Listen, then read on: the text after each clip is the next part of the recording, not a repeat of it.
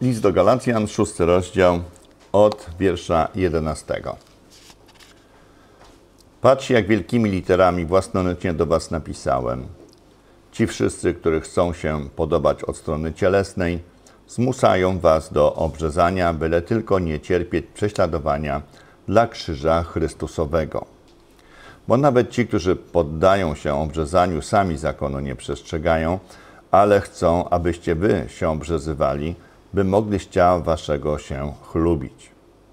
Co zaś do mnie, niech mnie Bóg uchowa, abym miał się chlubić z czego innego, jak tylko z krzyża Pana naszego Jezusa Chrystusa, przez którego dla mnie świat jest ukrzyżowany, a ja dla świata.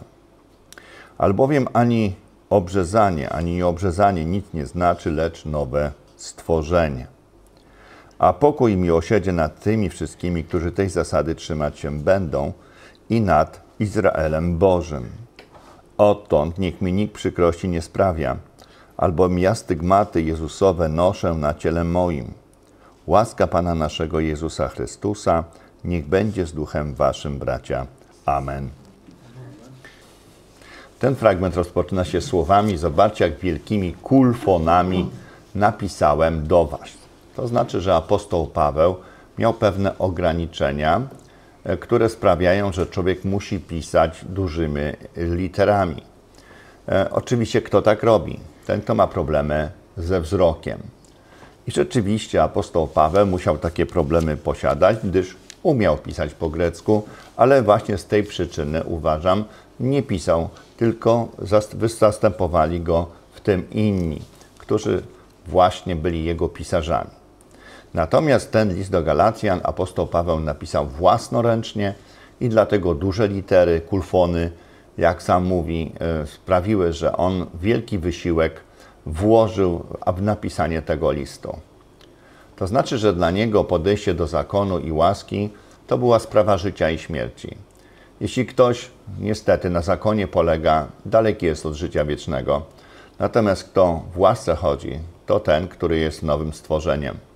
I to jest oczywista sprawa. Mieszanie natomiast łaski z zakonem nie jest rzeczą właściwą i apostoł Paweł mówi, że kto tak robi, odłączył się od Chrystusa, ten, który w zakonie szuka usprawiedliwienia. Więc jakikolwiek element Starego Testamentu przeniesiemy do Nowego Testamentu, to znaczy chodzi tutaj konkretnie o e, zbawienie z łaski, będzie to poważna sprawa, ponieważ to będzie taką główną podstawą ludzi. To nie jest dobre. Apostoł Paweł mówi, właśnie w liście do Galacjan, że i też w liście do Kolosan, że został przybity zakon do krzyża i dzisiaj szatan został całkowicie pozbawiony możliwości oskarżania wierzących ludzi, gdyż nie posiada kodeksu, na podstawie którego moglibyśmy być osądzeni. Ponieważ zakon oczywiście zwracał się z nami z różnymi wymaganiami, w tej chwili zostaliśmy zwolnieni z tego prawa, dlatego że Chrystus ten zakon wypełnił.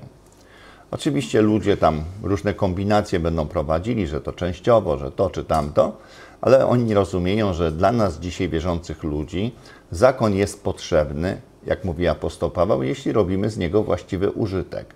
Do czego nam jest dzisiaj zakon potrzebny? Kiedy ewangelizujemy ludzi, potrzebujemy zakon, aby można na podstawie zakonu dowieść, co jest grzechem człowieka. Bez zakonu nie ma grzechu, dlatego że jeśli nie ma przykazania, to skąd byśmy wiedzieli, że czym jest grzech i że człowiek jest grzeszny? Zakon dla zatem poprzez przekonanie człowieka o grzechu wykonuje funkcję prowadzenia człowieka do Zbawiciela, czyli do aktu łaski.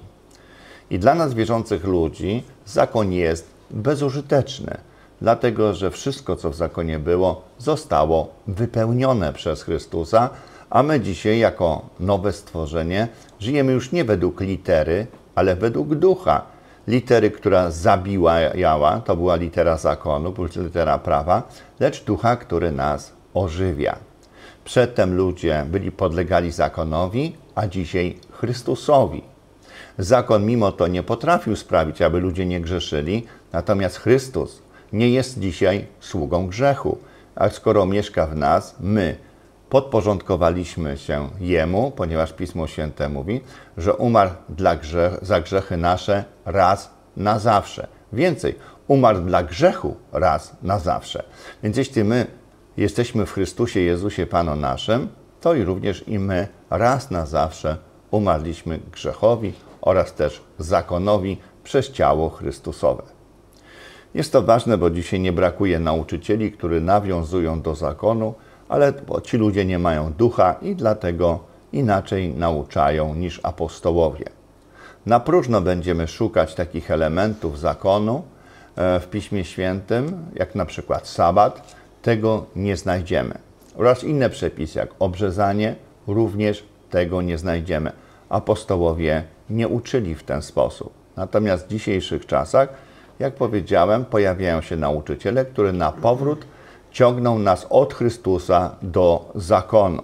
Na pewno jest to zwiedzenie. Bardzo często ci ludzie używają takiej logiki opartej na manipulacji po prostu, gdzie manipulują i udowadniają ludziom rzeczy, które nie są do udowodnienia, gdyż nie mają podstawy w faktach, tylko w jakiejś ich pokrętnej logice. Wracając jeszcze do tej choroby Pawła z oczami, to mamy właśnie opisane w liście drugim do Koryntian, 12 rozdziale, w siódmym i ósmym wierszu. Paweł mówi tak: Bym się więc nadzwyczajności objawień zbytnio nie wynosił, wbity został cień w ciało moje, jakby posłaniec szatana, by mnie policzkował, abym się zbytnio nie wynosił. W tej sprawie trzy razy prosiłem Pana, by odstąpił ode mnie, lecz powiedział do mnie: Dosyć masz, gdy masz łaskę moją, albowiem pełnia mej mocy okazuje się słabości. Najchętniej więc lubić się będę słabościami, aby zamieszkała we mnie moc Chrystusowa.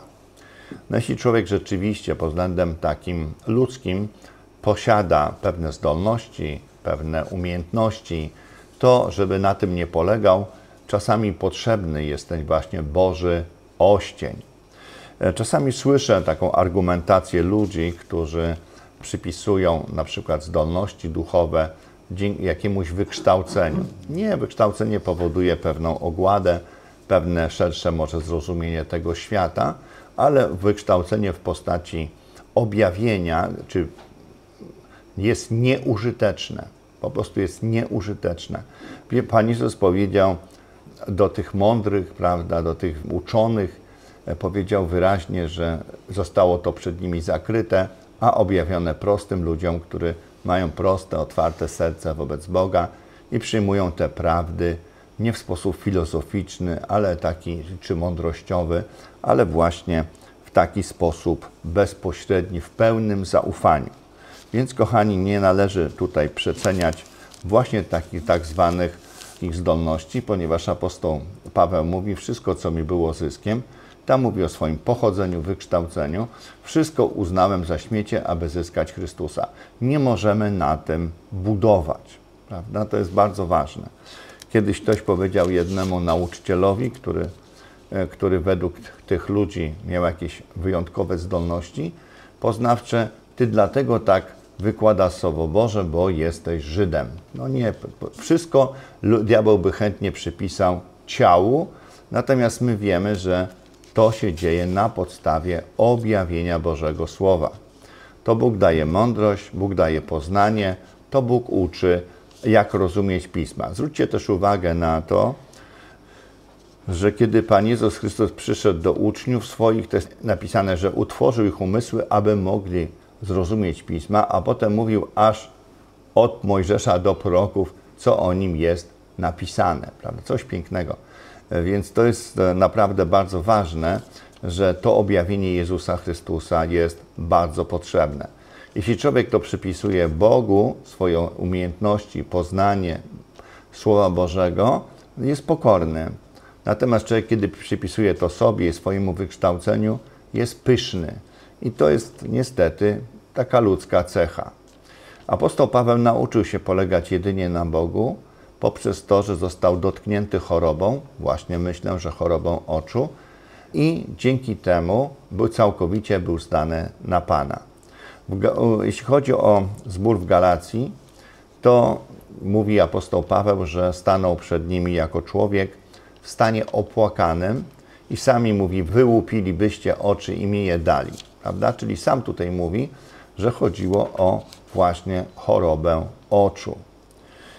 No cóż, a mimo to to było tak bardzo ważne, że zmusił się do tego, aby jednak napisać ten list i to nawet ten list ma sześć rozdziałów i wcale nie jest mały i zawiera bardzo głębokie prawdy. To znaczy, że musiał naprawdę się z całego serca do tego listu przyłożyć i napisał go pod prowadzeniem Ducha Świętego. A więc takie dwie bardzo ważne rzeczy tutaj są. Widocznie nie było nikogo w pobliżu, to mógłby pomóc mu w zredagowaniu tego listu. Zwróćcie też uwagę na to, że przechodzi potem do od siebie, czyli mówi, jak wielki wkład w to wkłada, jak wielki wysiłek, dlatego że on nie zabiega o to, co jego, tylko zabiega o to, co jest wierzących ludzi, więc stara się robić wszystko, aby oni nie ponieśli żadnej szkody. Natomiast Pismo Święte mówi tutaj dalej, że Paweł twierdza coś takiego. Wszyscy, których się chcą podobać ze strony cielesnej. I to jest pewien problem. Jedni chcą się podobać ze strony duchowej, drudzy ze strony cielesnej. Jedni zabiegają o wielkość Chrystusa i dobro tych, którzy tego Chrystusa posiadają, a drudzy o swoje własne dobro zabiegają i o swój własny interes. W związku z tym nie zabiegają o dobro ludzi. I bardzo często mam takie wrażenie, że niektóre zbory zbudowane są jak przedsiębiorstwo, e, gdzie na, na czele tego przedsiębiorstwa stoi kilku obrotnych menadżerów, którzy w piękny sposób umie przy pomocy Pana Boga robić biznes. No, apostoł Paweł mówił wyraźnie tutaj, że niektórzy myślą, że z pobożności można czerpać zyski. I to jest haniebne po prostu, ale niestety niektórzy tak robią. Ja oczywiście nazywam za apostołem Pawłem takim ludzi, e, nazywam fryzjerami, bo oni po prostu nic innego nie robią, tylko strzygą owce i są zawsze nastawieni w ten sposób, żeby Pana Boga do wszystkiego doklejać. Bo o co chodzi? No chodzi o to, żeby pod pozorem tej pobożności, religijności robić po prostu interesy. No to jest takie przykre, jeśli motywacją naszego postępowania byłyby pieniądze, to jest to na pewno niewłaściwa motywacja. Dlatego też ci ludzie, oni chcą zabiegać o tych ludzi, aby ich nie wiązać z Chrystusem, tylko ze sobą, bo to jest bardzo ważne. Zobaczcie, w Koryncie na przykład apostoł Paweł cierpiał głód, ale wiązał ludzi z Chrystusem. Cierpiał chłód, miał niedostatki w wodzieniu, ale mimo wszystko wiązał Koryntian z Chrystusem. Tak? Natomiast ci ludzie, oni mieli się bardzo dobrze i umieli w taki sposób na Koryntian działać, że jednak dobrali się do ich portfeli bardzo szybko. E, oni się mieli bardzo dobrze i to jest ten taki pewien problem, co kto czego szuka, prawda?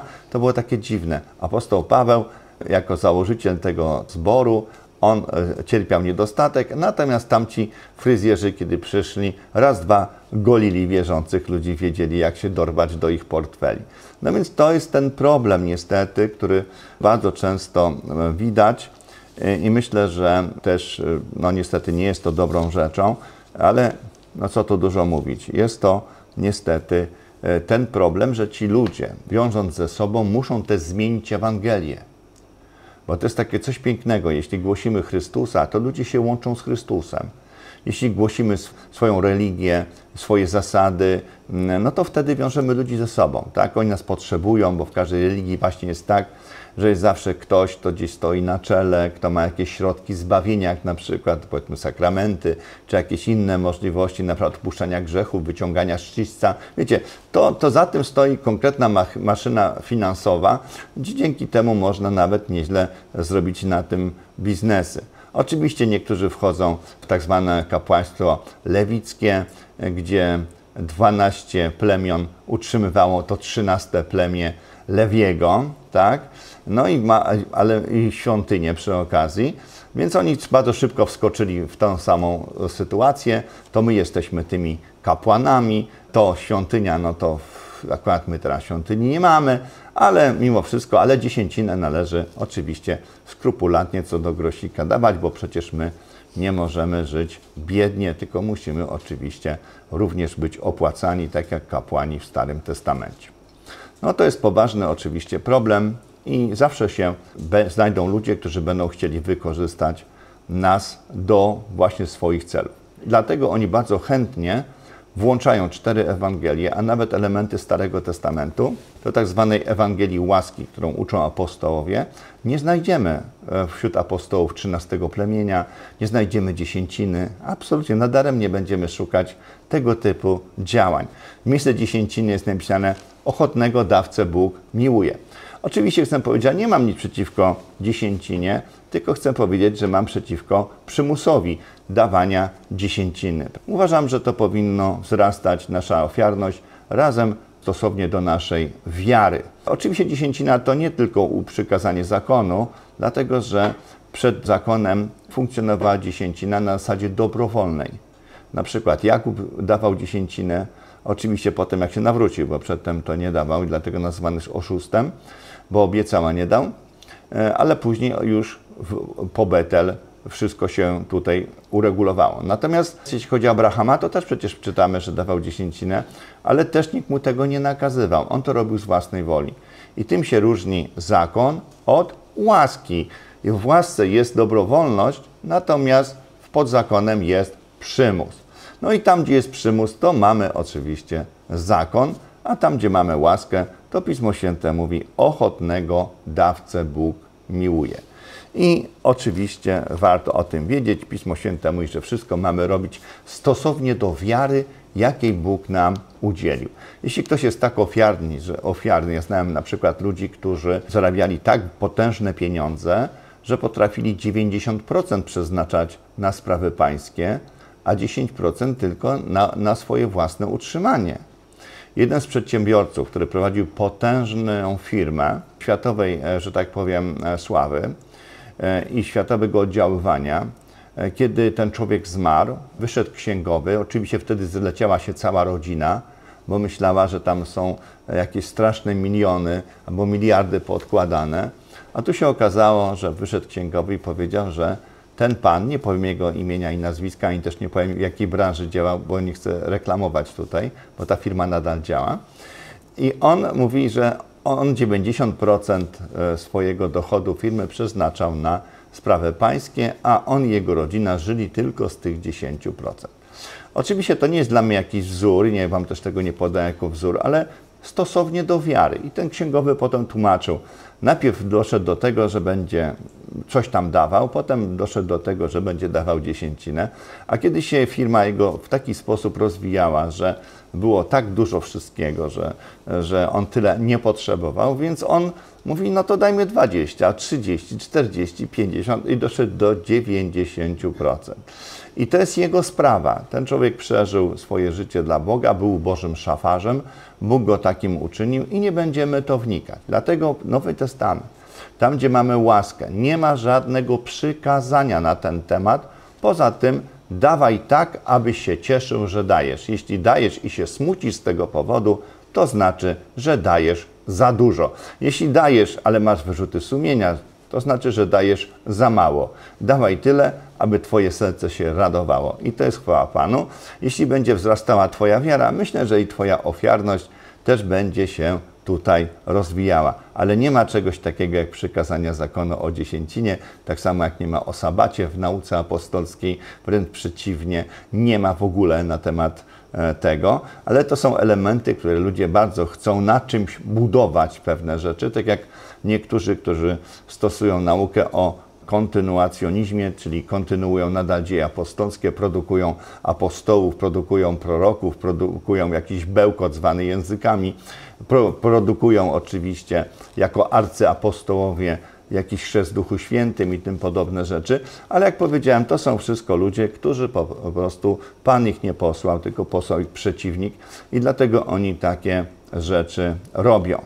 Oczywiście kiedyś przyjdzie Pan i odda każdemu według uczynków Jego, pokaże, jakie motywacje były postępowania, działania, służby. Chwała Panu, my się nie będziemy tym zbytnio zajmować, ale chodzi też o to, aby przestrzegać wierzących ludzi, aby nie stali się niewolnikami ludzi. Dlatego, że ludzie mogą człowieka po prostu uzależniać pod względem psychicznym, znam takie przypadki, zastraszanie, mobbing, jakiś tam sposób oddziaływanie, że ludzie po prostu są związani jak w jakimś po prostu mafijnym układzie, gdzie guru, który stoi na czele, potrafi podporządkować sobie wszystkich poprzez strach, bo ktoś jemu podskoczy, ktoś może mu powiedzieć cokolwiek, on zaraz każdego zgasi. To jest oczywiście psychiczny terror i tak nie powinno być. Natomiast, jak powiedziałem, jest też materialne oddziaływanie, tu inaczej bardziej ekonomiczne. Jak już mówiłem wcześniej, nie będę się tak zbytnio tu powtarzał, że owce są po to, żeby je strzyc i one mają taką zasadę. Jest oczywiście jeszcze inny duchowy problem, to jest problem zwiedzenia.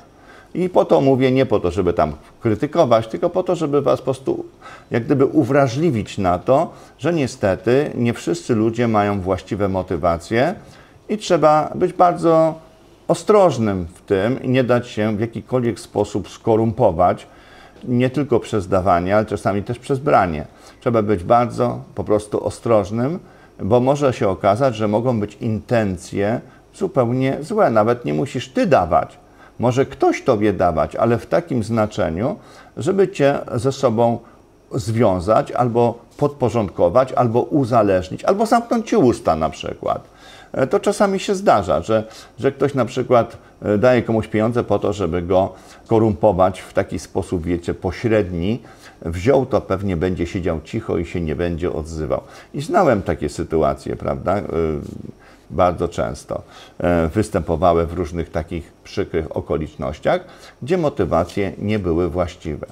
Kiedy czytam o apostole Pawle, powiem Wam szczerze, jestem tak Bogu za niego wdzięczny to jest tak czysty, przezroczysty wręcz człowiek, że, że naprawdę no, jestem pełen podziwu, że Pan Bóg takiego sobie sługę przygotował, ale on sam Pan powiedział, że, że on go wybrał, że on go powołał i on sam mu pokaże, ile musi wycierpieć dla imienia Jego.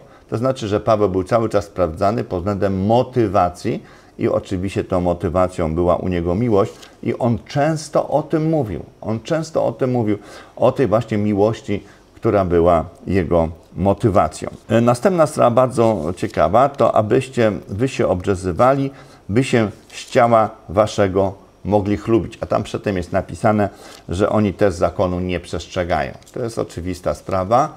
Wystarczy narzucić niektórym pewne zasady zakonu, natomiast co do całości, już ci ludzie nie przestrzegają tego zakonu. I tak właśnie mówi też Jakub, że jeśli ktokolwiek jakikolwiek element czy przykazanie z zakonu chce spełniać, budując na tym swoją sprawiedliwość, to znaczy, że powinien wypełnić cały zakon. Więc jeśli przestrzega sabat, to powinien się też obrzezać. A jak się powinien obrzezać, to powinien przechodzić nowie, sabaty i inne rzeczy, które też są określone przez zakon, prawda? I to taki czy inny. Więc bo jest i ceremonialny, i sanitarny, i taki, siaki. A więc to są bardzo ważne rzeczy i Jakub mówi, jeśli już chcesz wypełniać, to cały. Pismo Święte mówi, że apostoł Piotr powiedział, nie wkładamy na uczniów ciężaru, którego ani my, ani ojcowie nasi unieść nie mogli. Człowiek nie jest w stanie wypełnić zakonu ze względu na to, że ma upadłą naturę. Dlatego musiał przyjść Pan Jezus Chrystus, abyśmy z łaski Jego byli zbawieni. Coś pięknego. Więc pamiętajmy o tym, że jeśli ktoś nawiązuje do zakonu, sam tego zakonu nie przestrzega. Chciała się chlubić na przykład obrzezanie. Muszę Wam powiedzieć, że niektórych zgromadzeniach, właśnie takiego typu ugrupowaniach chrześcijańskich, albo może stowarzyszeniach niekiedy, niekiedy kościołach, niektóre, niekiedy jakichś innych organizacjach religijnych, zawsze jest jakiś główny element, który musi tych ludzi wyróżniać. Czyli wciągają coś do Ewangelii łaski Bożej, żeby na tym budować. Na przykład, jedni wciągnęli chrzest Duchem Świętym, prawda? Chociaż wiemy, że to jest dzieło Ducha Świętego, które dwa razy tylko miało miejsce w dziejach apostolskich, w Dniu Pięćdziesiątnicy i w domu Korneliusza. Nigdzie indziej już nie ma powtórzenia e, chrztu w Duchu Świętym. No ale ci ludzie wciągnęli to, my chcemy Duchem Świętym, prawda? No oczywiście, jeśli my chcemy Duchem Świętym, no to powinny występować też te języki. Tylko problem polega na tym, że tamte języki nazywamy językami, a ich języki nazywamy bełkotem, prawda? Więc znaczy, skąd myśmy to wzięli? Izajasz to mówi, że fałszywy duch powoduje bełkot. Prawdziwy duch Boży sprawia, że możemy mówić językami w taki sposób, jak ktoś nas rozumie. I to było w Dniu Pięćdziesiątnicy. Ludzie słuchali, słyszeli, wiedzieli, że, co oni mówią. Domu Korneliusza, kiedy wystąpiły języki, to czytamy, że oni mówili, co w tych językach oni wyrażali. Co robili? Prorokowali. Nie powiedzieli o nich, że coś tam brzdękali pod nosem, ale nie wiemy o czym mówili, tylko jest napisane, oni prorokowali. A Piotr mówi, że opowiadali w językach tym, którzy te języki rozumieli oczywiście, wielkie dzieła Boże, czyli głosili Ewangelię. To samo mamy w 19 rozdziale Dzieł Apostolskich. Apostoł Paweł wkłada ręce, udziela Ducha Świętego, nie chrzci Duchem Świętym, udziela Ducha Świętego. To jest całkowicie kolosalna różnica. I co się dzieje? Ci ludzie również, jest napisane, mówią językami i prorokują, czyli wiedzieli, co oni mówią, tak? Byli w stanie powiedzieć, co ci ludzie wyrażają w tych językach. Prorokowali, czyli głosili wielkie dzieła Boże, tak jak jest to napisane również w drugim rozdziale dzieł apostolskich w Dniu Pięćdziesiątnicy. No i po tym, jak ściągnie się taką rzecz, to wiadomo, za tym stoi przeciwnik, nieprzyjaciel, dlatego że zamiast fundamentem Jezusa Chrystusa uczynić Twoje życie na tym fundamencie, to oni budują na językach i tym bełkocie. I potem jest taka jedyna sytuacja, że jeśli ktoś bo ciągle potrzebuje trenować te zewnętrzne objawy, bo dla niego jest tak podłączenie się do gniazdka, tak?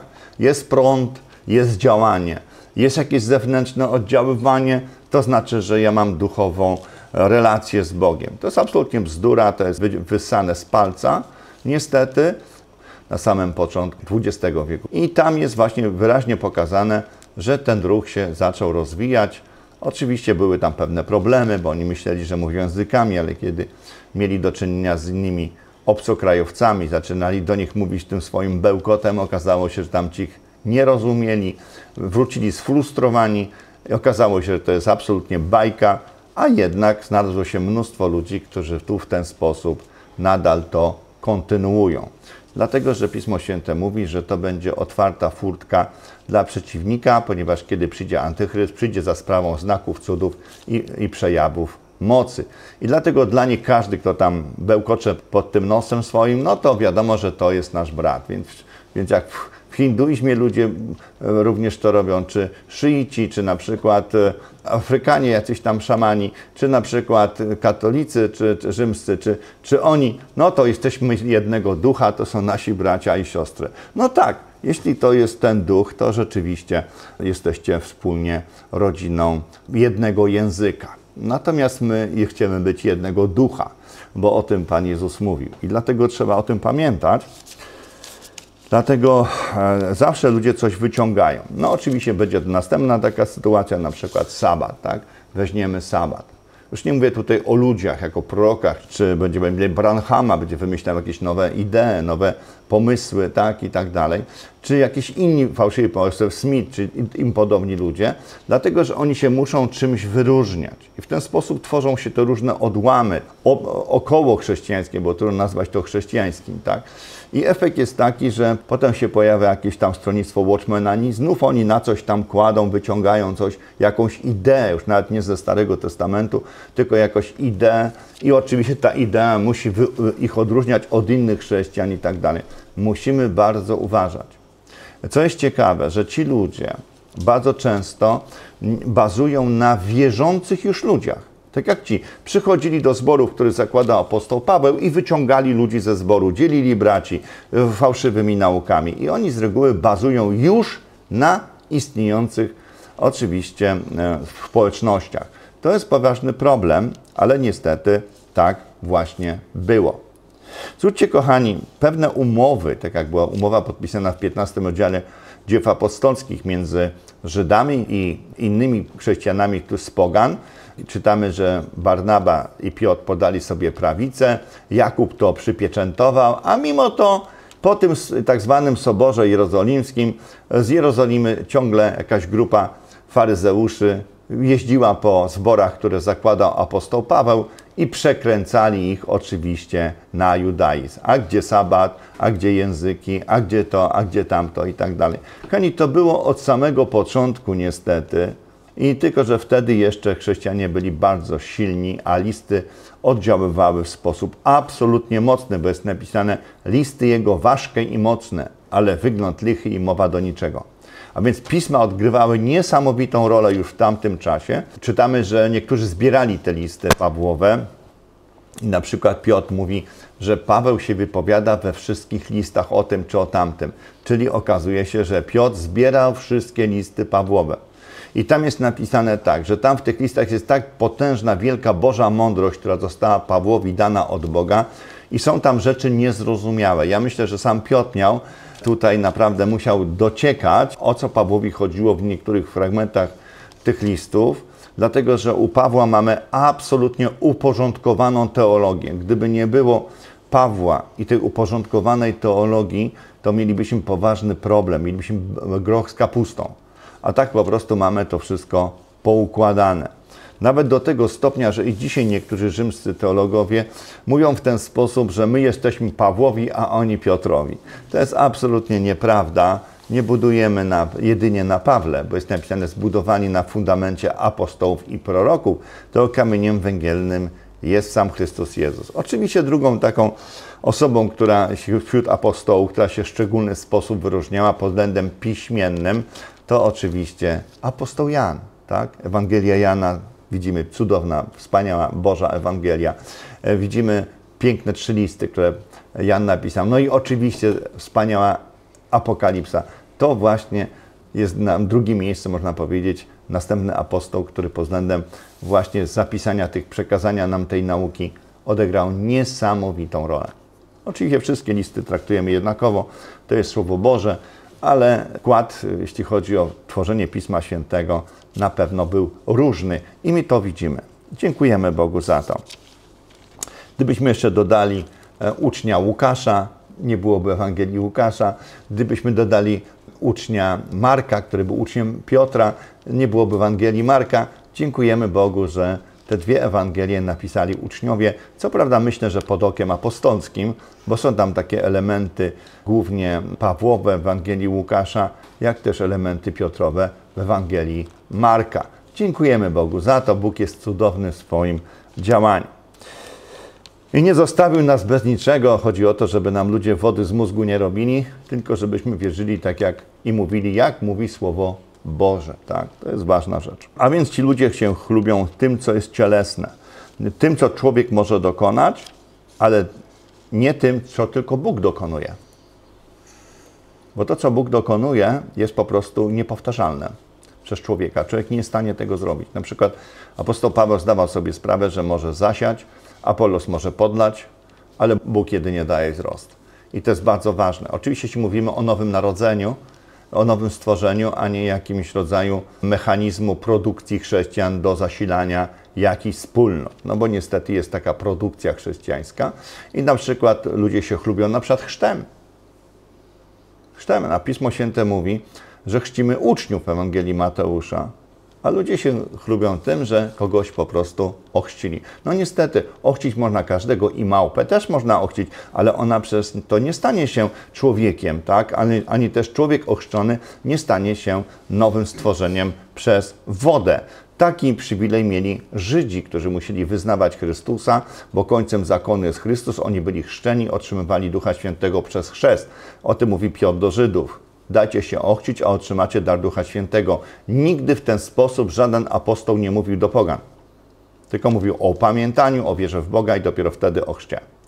I to jest bardzo ważne. Natomiast mylenie tych dwóch rzeczy, Pismo Święte mówi wyraźnie, że poganie są tymi nieczystymi, którzy przez wiarę weszli do Kościoła, natomiast Żydzi są tymi czystymi, którzy weszli do Kościoła właśnie na takiej zasadzie. Dlatego Dniu Pięćdziesiątnicy mamy dwa chleby. Jeden jest przaśny, drugi na kwasie, co świadczyło o tym, że powstanie Kościół, który będzie się składał z przaśnych Żydów i tych na kwasie, czyli grzesznych pogan, gdzie Bóg przez wiarę oczyścił serca i jednych, i drugich. Jedynie na podstawie wiary. Tak?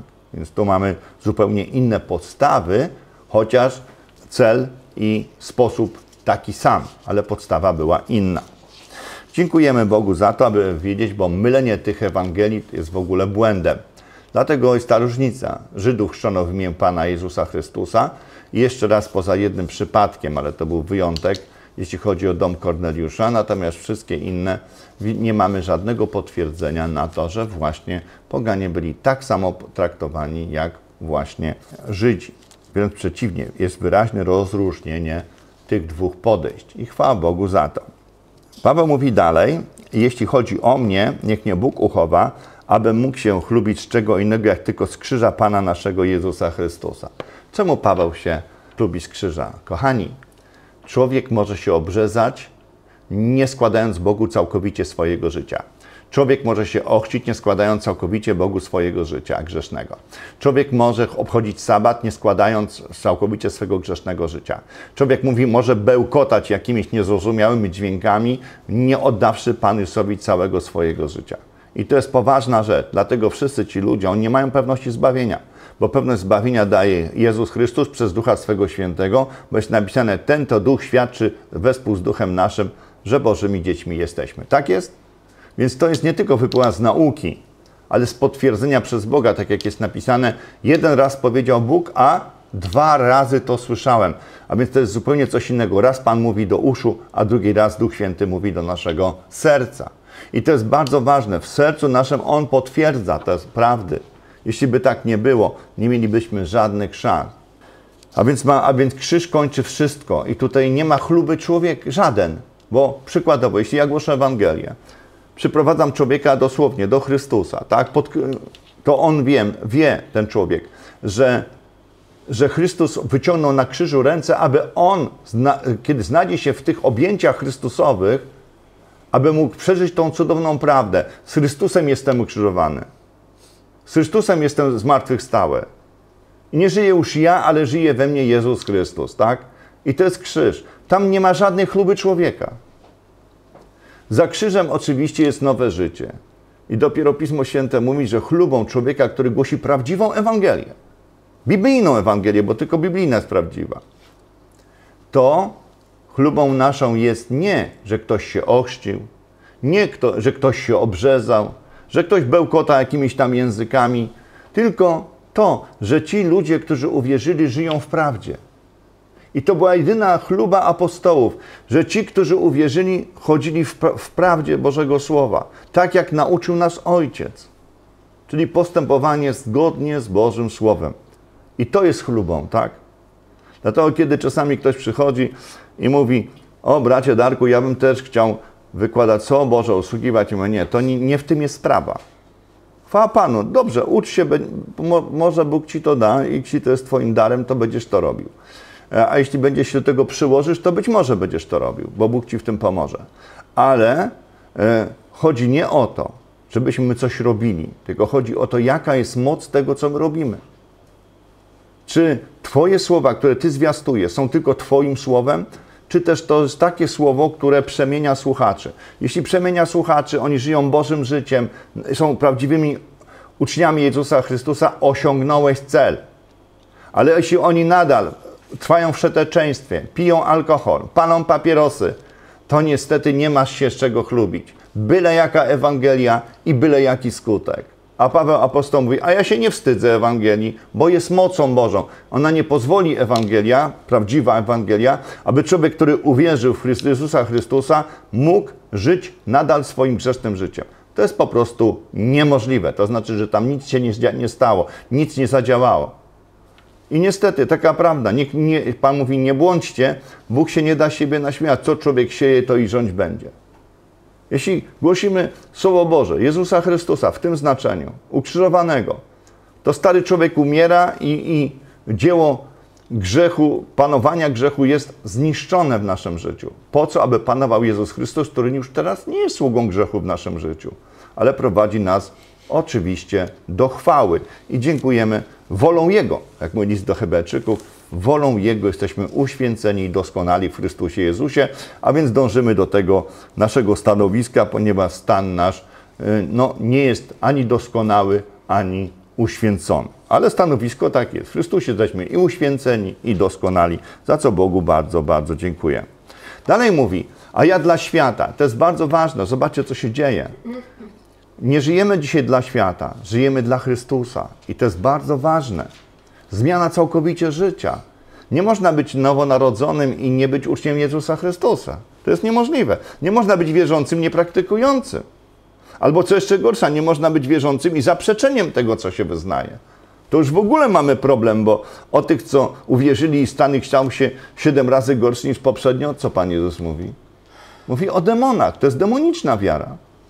Jeśli uwierzyłeś w Chrystusa, przyjąłeś Ewangelię, a twój stan jest gorszy niż był, to, to, to, to demoniczne jakieś działania. Ja czasami znam takich ludzi, którzy oczywiście na początku wielki entuzjazm, a dzisiaj po prostu skończyli byle gdzie, tak? Jak mówi apostoł Piotr, że umyta świnia znów się tarza w błocie, albo pies wraca do tego, co zumiotował. No niestety, jeśli ci ludzie nie narodzili się na nowo, nie mogą żyć Bożym życiem, bo nie mają tego Bożego życia. Zresztą, żeby żyć po chrześcijańsku, jako chrześcijanin, trzeba najpierw stać się chrześcijaninem. To się w inny sposób nie da zrobić. Albo w religii, to tak, bo się przybiera wtedy formy różnej pobożności, podczas gdy życie jest zaprzeczeniem jej mocy. Niestety też takie rzeczy w swoim życiu widziałem. Paweł mówi, obrzezanie nic nie, nie, ani nieobrzezanie nic nie znaczy. To nie ma wpływu.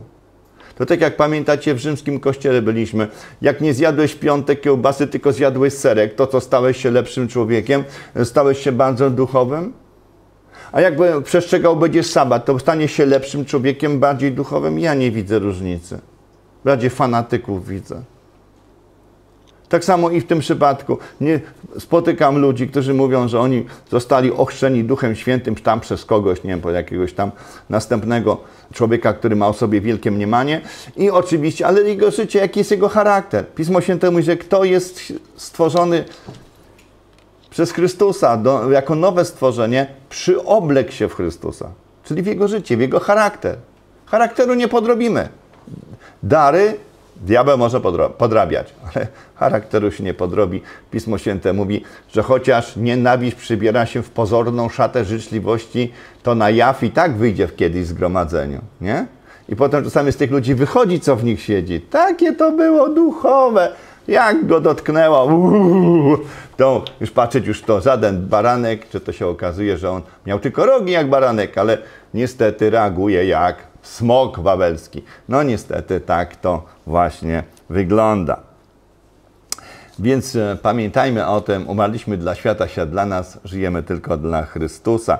Zresztą Pismo Święte mówi, nawróciliśmy się od bałwanów, aby służyć Bogu żywemu i prawdziwemu. Dzisiaj nie mamy w tym świecie żadnych bałwanów, którym byśmy chcieli służyć, albo mogli nawet służyć. Tak?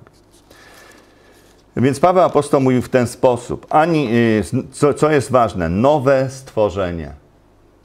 Nie ma nowego stworzenia bez Ewangelii Krzyża.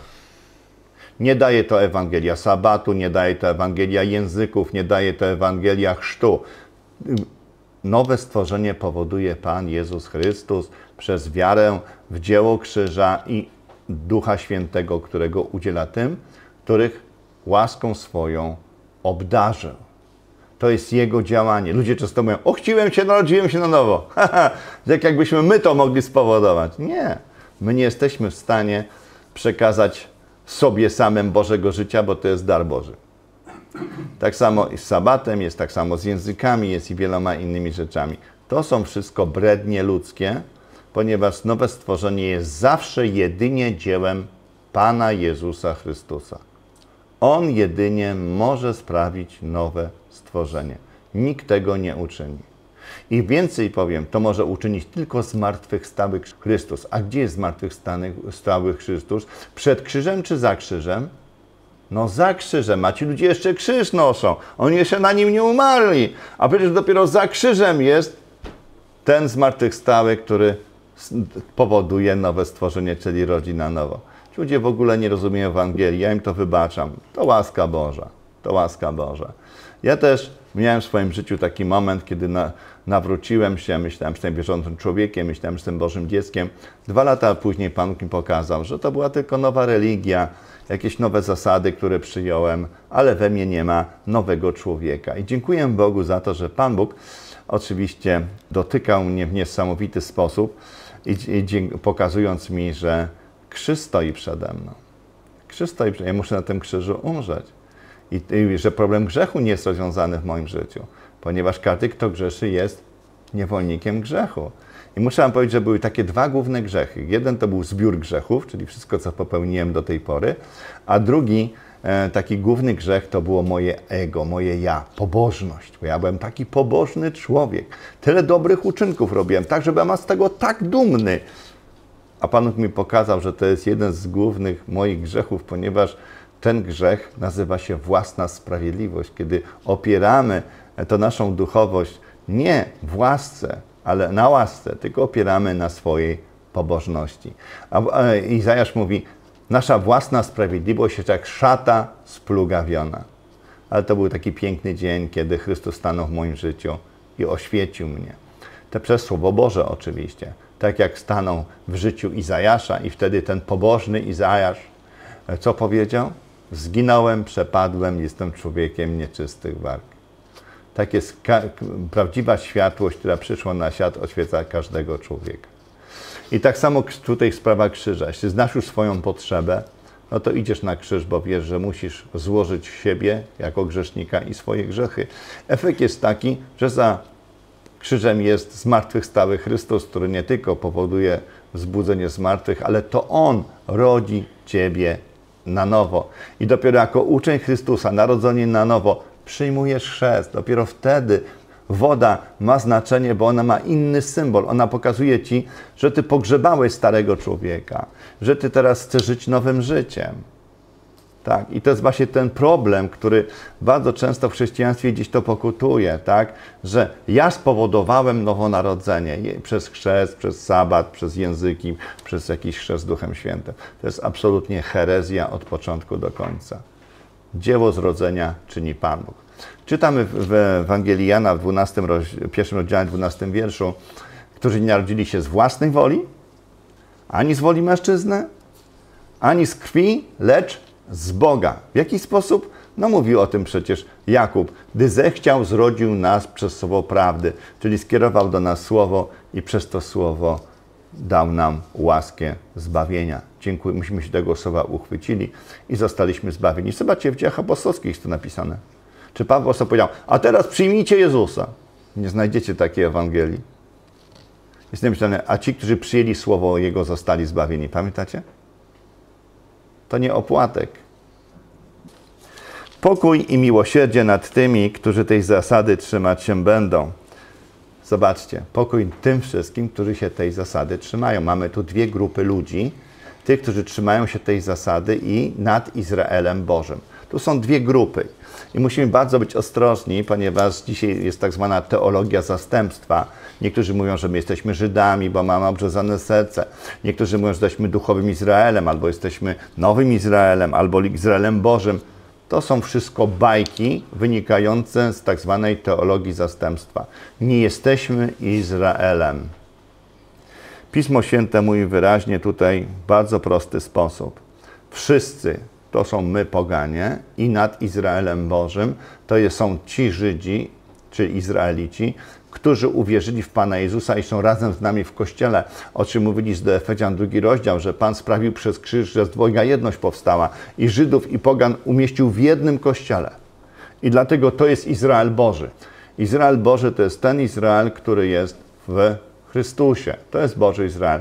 I my reszta, czyli wy wszyscy, my wszyscy, również na tej samej zasadzie odkupienia przez Pana Jezusa, nowego stworzenia jesteśmy w Chrystusie Jezusie. I na przykład, jeśli znam, a znałem wspaniałych e, ludzi, którzy byli Izraelem Bożym, wierzyli w pochwycenie Kościoła, wierzyli w, w, dokładnie tak samo jak my.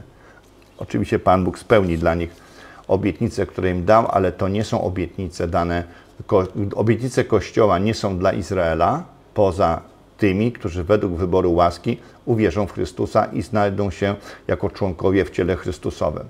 Natomiast reszta, która czeka na spełnienie obietnic Izraela, musi poczekać na przyjście Pana Jezusa, który dopiero wtedy zrealizuje poprzez Królestwo Boże te obietnice, które im zostały dane. I chwała Bogu za to. Dlatego, kochani, cieszmy się, że Izrael ma swoje obietnice, Kościół ma swoje obietnice, natomiast dla jednych i dla drugich wybranych jest właśnie, tak dla, dla narodów i dla Izraela są pewne obietnice w Kościele według wyboru łaski i narody Izrael znajduje swoje miejsce. A więc jest to zasada i trzymajmy się tej zasady Nowego Narodzenia, ponieważ nie ma żadnej innej Ewangelii, jak tylko Ewangelia krzyża. I nowonarodzenie, jeszcze raz powtórzę, to nie jest działanie z naszej strony, to jest działanie od Boga przez Pana Jezusa jako odpowiedź na naszą wiarę. Paweł podsumował to jeszcze w ten sposób. Odtąd niech mi nikt przykrości nie sprawia, albowiem ja stygmaty Jezusowe noszę na ciele moim. Kochani, apostoł Paweł był trzy razy ubiczowany. E, tak jak nasz Pan Jezus. Pan z nas trzykrotnie został ubiczowany. Apostoł Paweł również dosłownie tyle samo otrzymał razów. Pismo Święte mówi, że Pan Jezus po ubiczowaniu nie był podobny do człowieka. Paweł miał całe ciało w bliznach po ubiczowaniu. Paweł był chłostany, uważacie sobie, nad miarę, a więc wiele razy przeżywał chłostę. Dalej Paweł był bity 5 razy 40 uderzeń bez jednego kijem, od którego skóra pękała. Paweł był cały w bliznach. I on tutaj mówi wyraźnie: Nie sprawiajcie mi przykrości, ja bowiem stygmaty Jezusowe noszę na ciele moim. Chodzi tu o to, że apostoł Paweł na swoim ciele nosił dowody, jak żołnierz weteran, że walczył z miłości dla, i przywiązania do swojego wodza, ponieważ ten, kto siedział w garnizonie, to nie miał żadnej rany. Ci, którzy golili jak fryzjerzy właśnie Boży Zbór, to oni takich ran nie mieli, a Paweł był cały w bliznach. I to było dowodem na to, że jego motywacje było czyste. Jemu nie zależało na tym, żeby pozyskiwać ludzi do kościoła, żeby, żeby po prostu z ciała się chlubić. On pozyskiwał ludzi dla Chrystusa, aby ci ludzie byli nowonarodzeni, aby się rozwijali, aby kiedy będzie pochwycenie czy zmartwychwstanie w czasie pochwycenia, oni mogli być razem z Chrystusem. O to mu chodziło. Dlatego nazywa e, tych ludzi koroną moja. Dlaczego? Bo on chce, że kiedy tam stanie przed Chrystusem, aby ci ludzie, których ewangelizował, których nauczał, których prowadził dojrzałości, aby mógł ich tam zastać, bo co z tego, jakbyśmy nagromadzili całe mnóstwo ludzi i kiedy będzie pochwycenie, ich tam w górze nie będzie? To jakiś sens jest całej tej pracy? To nie ma żadnej sensu z takiej służby, która nie ma wiecznego owocu, tylko doczesny. A czasami niektórym niestety chyba chodzi tylko o doczesny owoc. Natomiast Pawłowi chodziło o owoc wieczny aby po prostu przetrwało dzieło Jego. I on właśnie o tym mówi, a dzieło każdego wypróbuje ogień. I czy się ostoi to dzieło, czy nie. A więc Paweł miał na pewno właściwe motywacje. Podsumowanie tego listu dopiskiem łaska Pana naszego za Chrystusa jest zabiegiem autoryzacyjnym. W ten sposób apostoł Paweł podpisywał swoje listy, ponieważ Żydzi podrabiali jego pisma, a nawet niektórzy wysłali do Tesaloniczan pismo, że już nastał wielki ucisk, czyli Dzień Pański. I Paweł zaczął podpisywać swoje listy, co było znakiem w każdym liście, ponieważ to były początkowe e, listy, więc pierwszy list, który Paweł napisał, to był pierwszy do Tesaloniczan i Paweł już tam wtedy powiedział, że to będzie jego autoryzacja. Dlatego, kochani, i list do Hebrajczyków również w taki sposób jest zakończony, również podpisem łaski Bożej.